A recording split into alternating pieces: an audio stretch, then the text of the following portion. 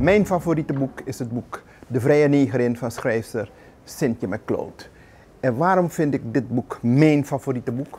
Omdat men in Suriname, althans de Surinamers hier in Nederland, een vieze smaak krijgen als je het over het woord negerin hebt. Neger. Ze noemen het het N-woord. En ik vind het is geschiedenis. Deze mevrouw was een slavin.